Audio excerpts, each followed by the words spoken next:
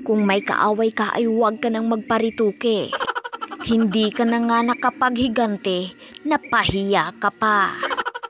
Huwag mo nang subukan kung ayaw mong mangaliwa ang ilong mo.